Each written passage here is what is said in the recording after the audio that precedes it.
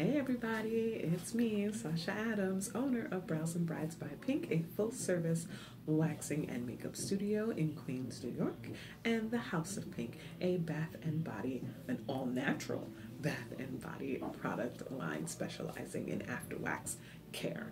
Um, today's video, we are going to talk about why it's important to continue your waxing regimen even when it's cold outside. So yeah, the weather's starting to get a little cold. Um, and we have had some snow out here in New York as of late. Um, but that does not mean that your waxing has to stop. You have to remain consistent with your every four week or once a month um, waxing schedule. And I've got a couple of reasons why that is important. So, um, reason number one when you just quit cold turkey for the winter months, um, what you're doing is interrupting your hair cycle. And of course, hair grows on a specific cycle that I won't get into. It's just, it's, you know, there's four uh, different ways, and then there's anaphase, prophase, all this other jargon that uh, you really don't need to know. But basically, what happens when you wax is it creates um, a cycle of hair removal. The hair grows back in finer, it grows back in thinner, and the follicle itself it gets damaged every time you pull the hair out and that's what causes um, the thinness and the fineness of the hair until it just stops growing completely but when you quit cold turkey what you're doing is you're actually um, causing the follicle to be able to mend and it can reverse the cycle that thins the hair, causing the hair to come back the same way. We don't want that. Um, now, all of these reasons that I'm uh, going to be telling you, they actually all tie into each other, which is crazy when I started writing uh, out my notes. I realized that everything kind of ties into each other. So you're interrupting the hair cycle. That's number one. Number two, there is the risk of ingrown hairs increasing. Now, because of the fact that you're not exfoliating at all, because we know that if you haven't waxed, you're definitely not going to be exfoliating. And my Coochie Care pre pre post wax scrub is sitting either in the bathroom or on top of a cabinet or inside of a cabinet, and you're not even looking at it. I bet you. So, of course, you're not exfoliating, you're not coming in and getting wax, which is an actual exfoliation as well. So the risk of you getting ingrown hairs will increase. Now, um, reason number three actually ties into reason number two. So, reason number three is drier skin. Um, uh, lately, my wife has been complaining about um, having dry patches under, you know, around her nose and around her mouth. And I had to explain to her, well, honey, it is winter, so you're going to need to up your moisturizer on your face a little bit more, um, partly because, number one, it is cold outside. And then you're coming in from the cold into the artificial heat, so your skin is going to bug out quite a bit. Also, down there, the same thing is happening. There's no exfoliation happening because you're not coming in and waxing every month. Um, there's no exfoliation happening because since you're not coming in for your wax, you're definitely not using your exfoliator. Dry skin is going to start to build up, and that is where it ties into uh, reason number two with the risk of ingrown hairs increasing. Why? Because the dry skin, the flakes are going to fall into the pores, clogging them and causing ingrown hairs. Um, if you watched my last video, the ingrown hair chat video, uh, where I talk about how dry skin can contribute to um, ingrown hairs. So that's number three. So, number one is you interrupt the hair cycle. Number two, the risk of ingrown hair increases. Number three, you are going to get drier skin, which in turn will increase the risk of ingrown hairs. Okay?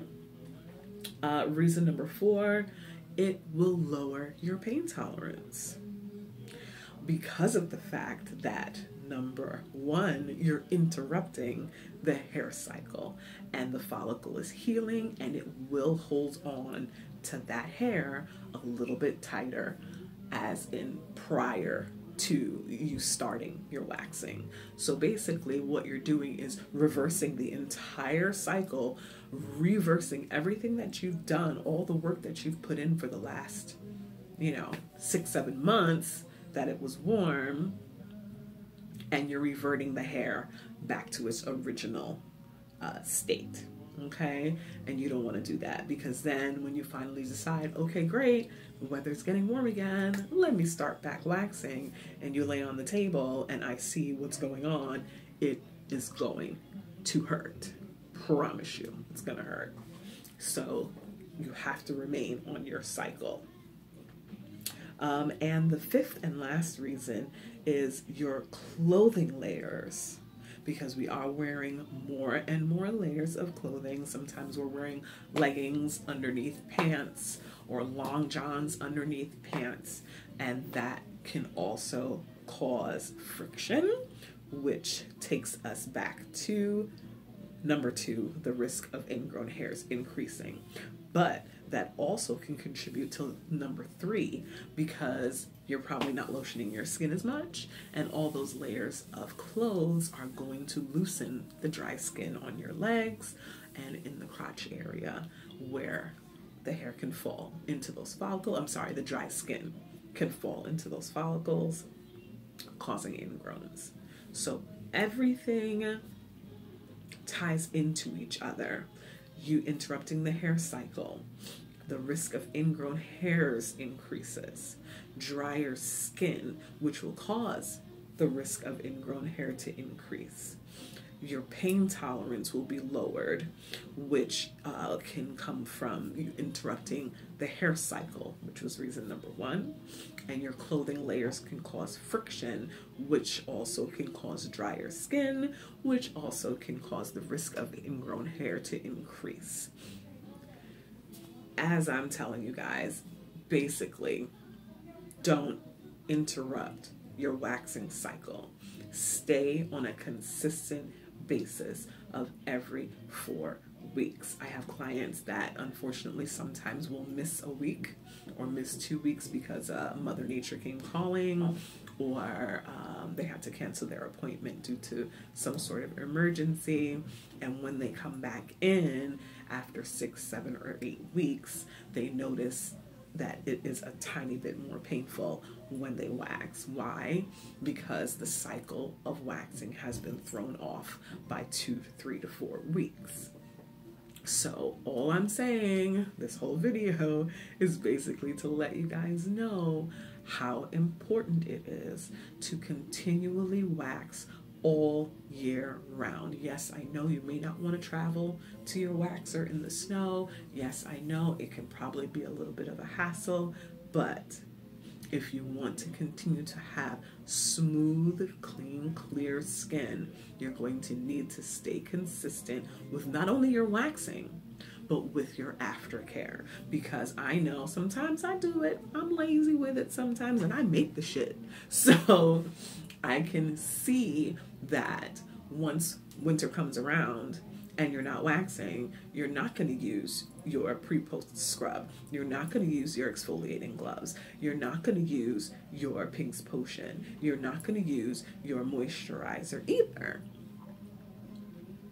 So, unless your skin is smooth and freshly waxed, you have more of an incentive to consistently use your aftercare, therefore preventing any sort of ingrowns, friction, uh, all of that good stuff. Okay, so once again, you guys, it is very, very, very important for you to continue your waxing regimen all year round 12 months a year once a month you have to continue to do it it's literally one 15 minute appointment, especially with me. It's one 15 minute appointment once a month, every month. It's that simple. It really is. It, it, there's it's that simple. Just continue on with your regimen, guys. And I mean, I'm not trying to be mean or seem angry because I do have my clients that continue on a consistent basis. But then I also have clients that tend to disappear once the weather gets a little colder and then they reemerge out of hibernation once the weather gets warmer. So I'm just letting you guys know it will be much easier on your coochie if you just stay consistent. Consistency is key. Thanks so much for uh, giving me these uh, 10 minutes to talk about how important staying consistent with your waxing is. And I will see you guys on the wax bed. Stay smooth.